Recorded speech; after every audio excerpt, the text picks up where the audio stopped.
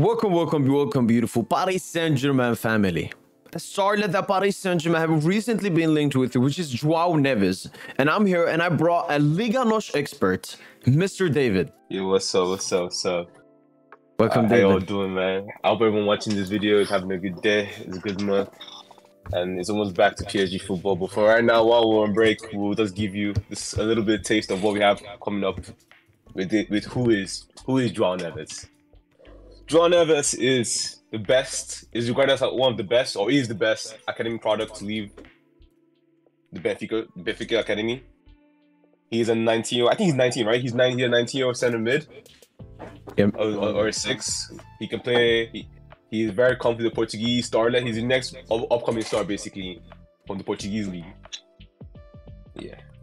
And th- there's one Next. player I've seen like comparisons. Oh, he's this new, new, new, new. Oh yeah, yeah. I'll say. If, to, to, if people want to like base off, because again, comps can make everyone look good, but if people have an idea who Joao Neves is, I'll say it's Verratti, man. I think Ver- Joao Neves is the, is the closest name. Some could, some some could argue he, he could be better. Yeah, Yeah, it's yeah. Verratti. Just- So yeah, just- I I think that this is why it's, it's like the main target for PSG because PSG to this day is trying to replace Verratti. When I see like a short Oh. guy making those tackles that he makes, that's that's why I, I used to see from Verratti all the time. But for me, Joao Neves, David, is is the complete package that he got. He plays very deep for Benfica, but when he gets the ball in more offensive areas, it's not like, oh, what should I do here? No, he can put that pass, the assist. He can score that goal. I, I think that's that, that's that's that's like um a mis- that's why I don't like about like the stuff about him playing six. I, I don't like I don't want people to package him as a six. He can play anywhere on the field. He can play on the left, the right, the middle, the uh, up top. He can play as a six, eight, ten. He's that good because he's a he's the only what would I say? He's a two way dribbler right now. He's a two way dribbler in the sense that like so look at I look at from PSG. Uh, Fabian Fabian and Vitinha are one way dribblers. Whenever when you watch football, whenever Fabian gets the ball, he always leans towards his left because he's predominantly le- left with it. Whenever Vitinha gets the ball, Alzheimer, whenever they get the ball, they can go from they go to move to the right. He's like John. I can say like Joao Neves is like the 2010s Spanish midfielders, the Iniestas, the Javis, or or, or San, San, Santi Cazorla. If you give him the ball, he can dribble and pass through his left or the right. And that's what makes him so special, man. Yeah. Like whenever you watch him off the field, back to goal, whenever he gets the ball, defend you can't predict where he's turning to because he can turn on his left and turn on his right. He can pass on his left and he can pass on his right. He will drop you, he drop you on his left and he's like it makes him so dynamic and that's why his hype his hype right now is off the roof. It was it wasn't this wasn't this big, but I think after the Inter game, I think after this season alone, people are seeing like he's actually the real deal. He's five nine. He's he, he's five that He pick he carries the ball so predominantly so well. He's an exceptional talent, man. He's a, he's, a very like it's crazy. It's crazy how good he is for that young age. It's actually like scary how he, how like how good it be if he under the right coach, under the right system. How good it be because right now I, I believe any coach he's like the I won't say Kamavinga because Kamavinga wasn't built, wasn't made. I'm, I, I, for me right now, I don't believe Kamavinga has reached the, his potential. I, I know it's too early, but I feel like someone like Joao Neves is so young. He can build, he can build a clean slate on it and make him who he is, basically. Yeah. you can you can turn him into into an elite floor uh, and an lead like a destroyer. Because he has every every facility of the game right now at, at this young age, and it's crazy because some people can look at him like a five. Why is a five nine guy being so involved in defensive actions of the pitch?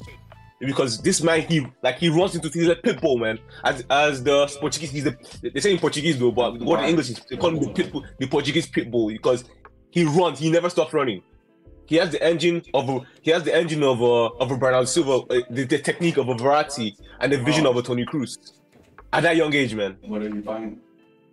like he's a whole package, and I think like something like that, like from the clips and from the pictures you can see, you can see him everywhere. The, the, his passing range, just everything. He's a I think that's also something that's very scary because everyone in Europe wants him. From everywhere we have, you can see his you can see his passes anticipated, the passive completion, the progressive passes, the dribbles, the tack. You can see the the tackles. Like it's, it's like what everything you see here is the whole package basically. I can give you a kiss. You know? Yeah. Uh, again, this is someone predominantly playing as a six. Right now, he plays between Florentino Luis right now. Mind you, he'll play like he's, he, he's playing way far away from goal. I see his stats, man. Uh, he's, he's, a, he's a genius. He's a genius. No, you see, passes attempted 90th plus percentile, pass completion 90th plus percentile, but also progressive passes, successful take-ons, tackles, blocks, and even has good aerials won for being that short. The only thing he should improve a bit is maybe progressive carries. But when you look at this graph, for example, here, he can progressive carry. It's just that he doesn't yes. do it enough. And obviously, Benfica, they have had a little bit of a roller coaster season this season. I mean, they were one of the worst teams in the Champions League, just statistically, how many goals they're conceding and so on. But yeah. Joao Neves is still. Like, would you say he's performed as their best player this season? I'll say he's one of the best players this season. I'll say I'll still say Di Maria is the best player this season. He yeah. always carries them whenever they in top notch. I will not blame. I'll blame Benfica's dip in performance in Champions League down to the coach, or the, not. I won't blame it to the players because he had he had beef with Luis, to Luis, and he mismanaged Kökçü, the new signing around Kökçü. Yeah, who also I appreciate, man. Because in the beginning of the season of, of the Ligue 1 season and Champions League of Benfica, he played a double pivot of Kökçü and João Neves.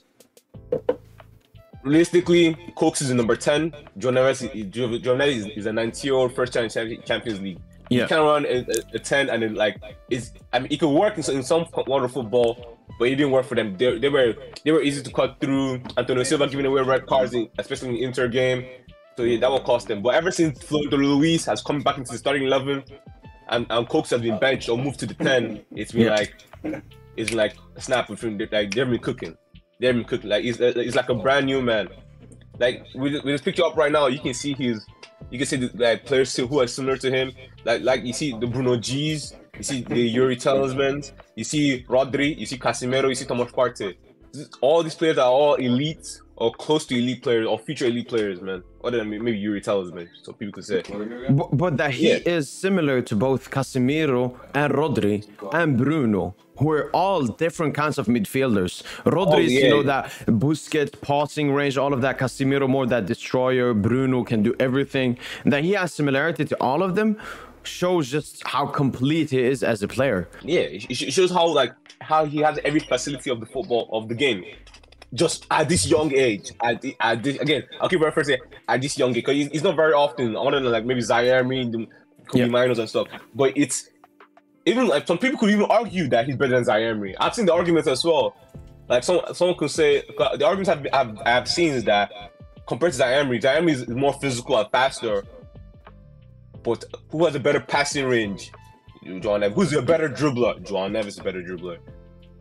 So uh, you, you, you pick a poison basically who you like who you prefer. But some people there's an argument between who is better. So like I, I see why why why can we have two two two is always better than one. So like the thing with him like also with this graph right now we can see him compared to Enzo Fernandez. Yeah, so he's much better in defensive duels. Passes received per 90, pretty much the same. Progressive passes per 90. I mean, that's pretty much Enzo's best strength. So he's he's gonna be better than anyone else at that. But João Neves isn't that far away. Dangerous passes per 90, a bit farther away. Goal creating actions, I think, per 90. But then aerial duels. And then dribbles is also better than Enzo Fernandez. So, like, the difference between... And this is João Neves' last season as well, David. Yeah, his first season, his first season in, top, in, like, in, in the top league. His first, first, I want to say, first professional season compared to Enzo, Enzo, Enzo's best season. Because he started replacing him when, when Enzo left for Chelsea, right? Yup. He promoted him faster. Yeah. yeah. He promoted him after Enzo left. And then even. Yeah, it's, yeah, it's, it's, it's, like.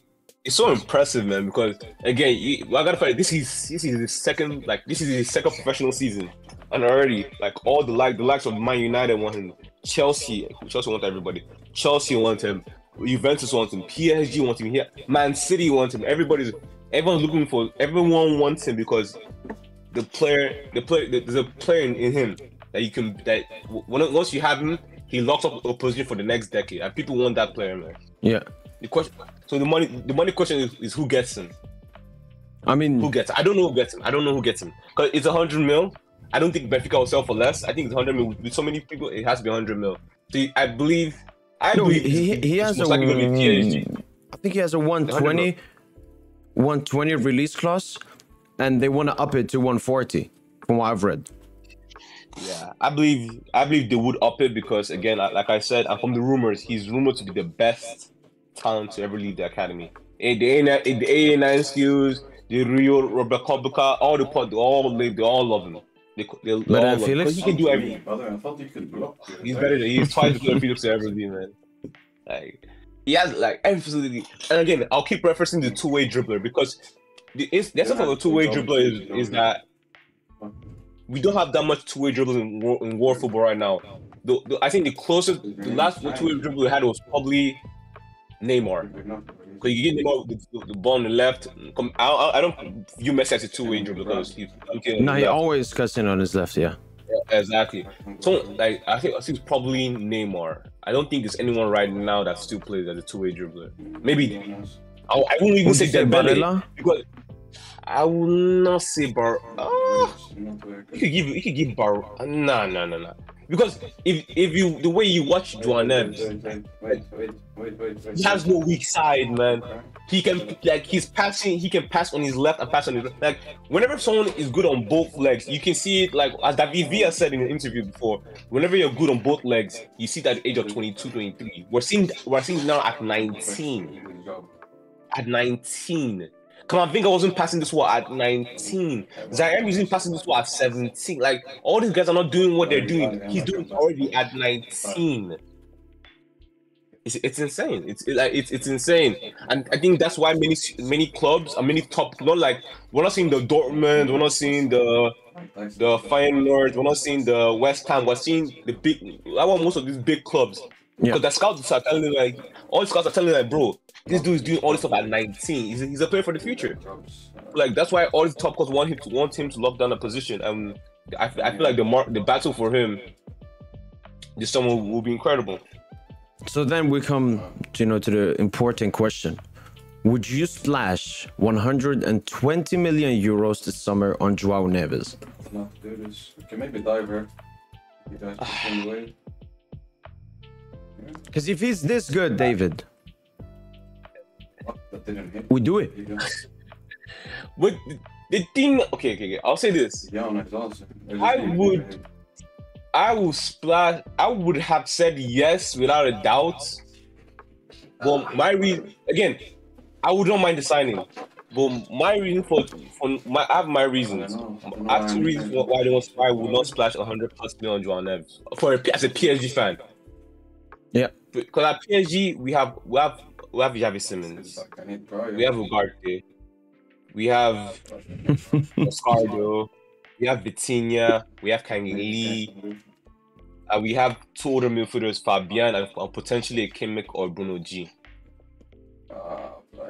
I would not mind. I would mind. I would not mind Joao Neves. And we have forgot of Zaire Emery. How I forget Zaire Emery? And we have, so that's about eight to nine midfielders.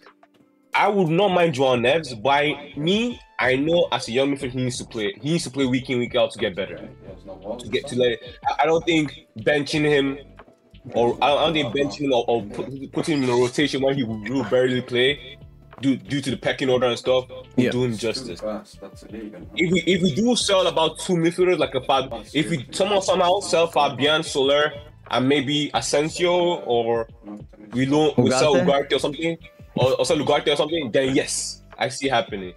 But if but but but we we how much peg because again we're expecting more Moscardo and Xavi Simons to come as well. I feel like there's too much midfielders for so many limited, limited positions, so. but especially for the coach. I mean, th- then I have two questions for you. The first one is, we obviously know no. I mean, this is not a question. This is more of a statement. Joao Neves, David, would suit what we play under Lucho perfectly. Why? Because he's so great with the ball and so great without the ball. And those are the two most important stuff under Lucho.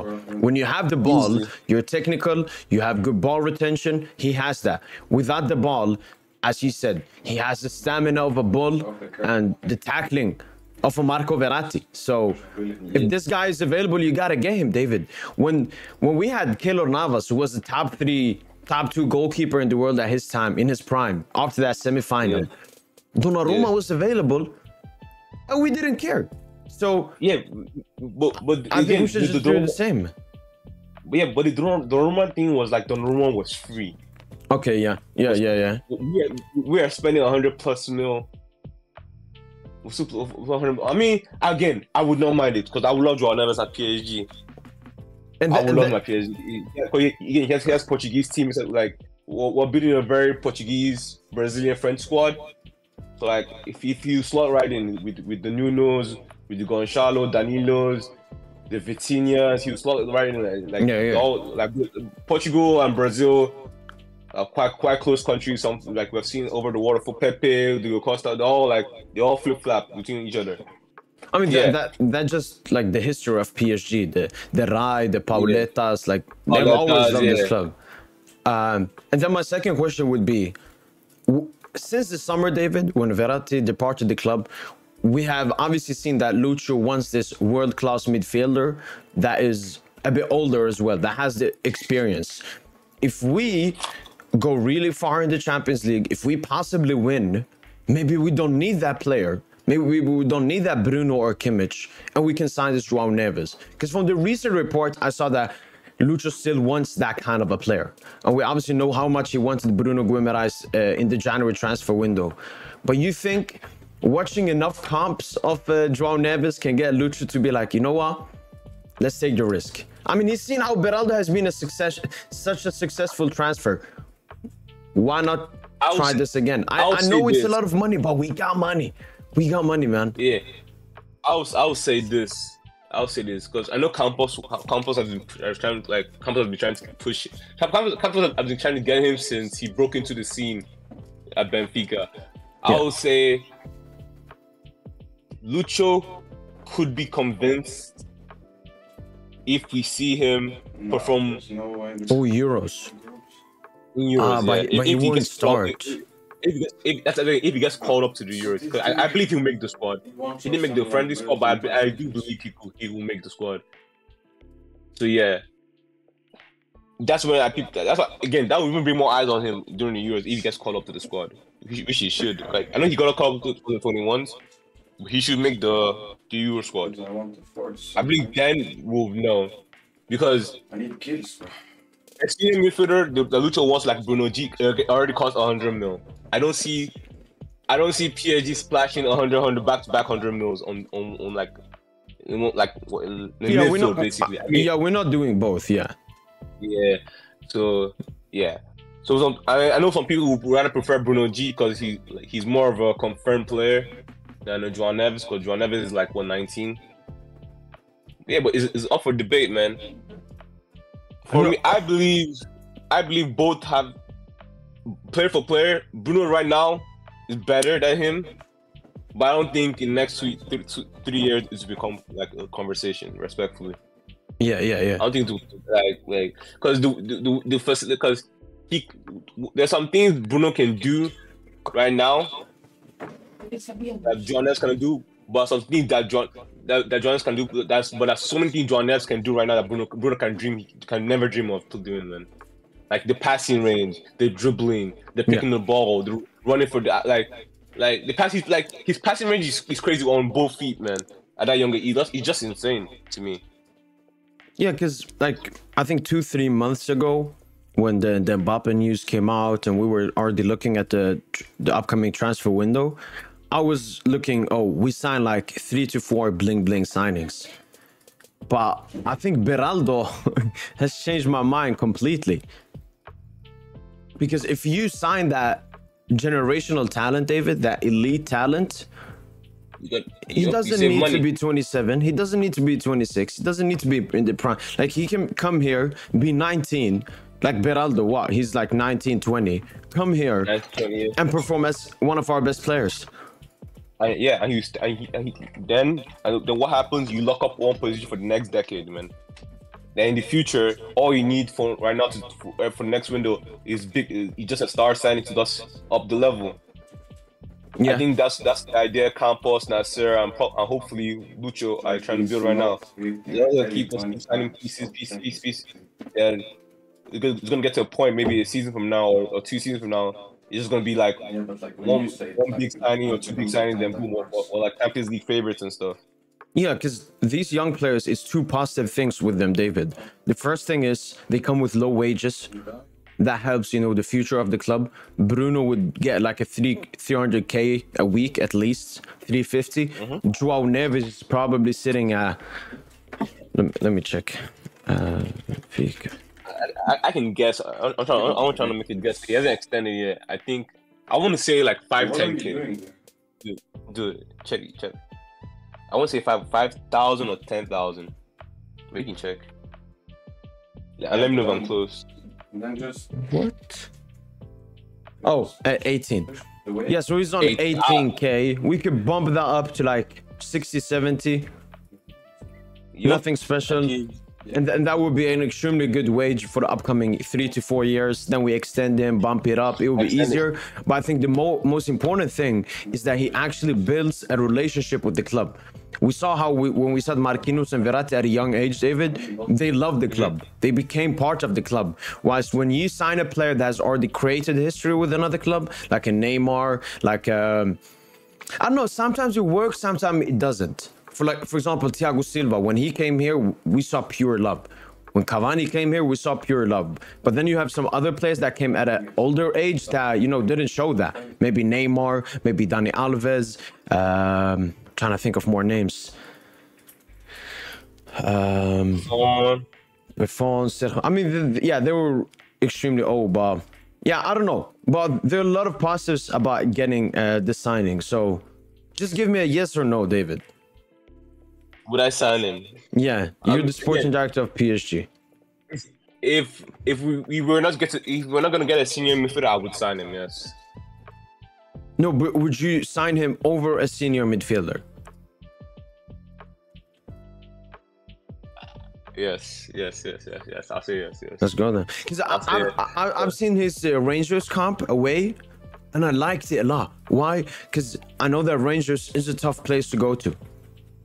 And the pressure didn't bro, affect him. He has that aura. bro, he has that mentality. watch, go, go watch his goal versus Sporting, man. The one Oh, to- oh, from the corner kick? From the corner kick? Yeah, the equal, Yeah, I've seen Yeah, yeah, what a player. Again, that game, if you watch that game, Sporting had them on lock. But the, again, Sporting had everyone on lock, but the only person that they that, that gave Benfica hope was him at 19. So broken. That was a derby. And only and uh, 19 was was decided. Like it's crazy, man. It's crazy because Sporting are giants, man. Sporting are like of oh, you and everything right now. Like in terms of Liga NOS right now. Yeah. But, but, but this kid, this kid from ni- this 19 year old kid was, was working them. It was crazy. He's, he's, he's such a player. He's such a player that any team would want. Plus, he plays with a tucked in shirt. That's weird. But I like it. No, no, no. Makes him different. We we have Mos- we have Moscardo, skinhead, and we have a 19 year old tucking shirt, man. I'll say like if people want, if people who want, like people who like the, if you were purist, it wasn't that close comparison. But He's it's basically any elite price. What 2010? Spanish midfielder. That's what he is right now. No, no, no, no. that- Spanish that's like- midfielders don't have the defensive ability. Of, that's why, No, no, like, the no, no, comparison like- to Verratti goes so much. Yeah, yeah, yeah, I, get, I get that one because the way he dribbles, like you just have to see him dribble. What, what, Just have to see him how would you rank? How would you rank like his abilities, like uh, dribbling, uh, passing, uh, technique? Ooh, I would say okay, Defending. like like one to like rate them like up what's first, what's second, what's last. Yeah, yeah, yeah. I don't, I, I don't think that's possible, man. Cause they're all, they're all equally good. Okay. wait, wait, because because he excels in everything. No, because I you mean, seem to he's talk about dribbling a lot, so I, I would guess it's dribbling, No, or at least that's the most no. special thing. No, I, I say I say dribbling is bec- is because right now whenever you if you again if you watch like like only just just pay pay attention next time like when when when um, when we like PSG play. Whenever Fabian picks up the ball he always drives with his left. Vitinha drives with right. This man this boy when I say this boy this man this boy can he will turn you with his left or his right so as as you try to defend him you don't know when he's gonna turn so he, he keeps you guessing every time and he can do it effortlessly this young age. If you like, oh, if you like, like um, Ver- against Chelsea, or Verratti against um, uh, Verratti and, and Rabiot versus um, Barca, when Rabiot was just moving around like like moving around like he, like he was like Gullit or something, like. He's unpredictable. He's very unpredictable, man. He's very, very un- unpredictable. I, I think what pleases me a lot, man. And why I would want him at PSG because I believe he could be of like a future floor raiser. I feel like he could do everything a Kroos, Modric, and Bernardo Silva can do all in one player. All, the, all, all we do for the clubs, all all in one player at, one, at the same time. Yeah. I don't, I don't, I don't. People, people say, "Oh, that's that's a lot," because yeah, but trust me, just just need to watch one of his good games. Oh, again, I he has a lot of good games, but just watch one of, and you see you see the stuff I'm seeing, man. Especially the sporting game or the inter game. Like, he, he's, a crazy player. He's a crazy player. He's a very good player. Right then. I think uh, people have now understood the player Joao Neves is. Uh, we will obviously keep talking about him in, in, in future podcasts and everything, maybe watching some comps here and there and following the reports and seeing how, how PSG are going after this player. Uh, but that's been it. Like the video if you enjoyed it, share it to people so they get to know who Joao Neves is. That's been it from your boy PSG and David. And as usual, allez. Allez, Allez, Paris. Paris.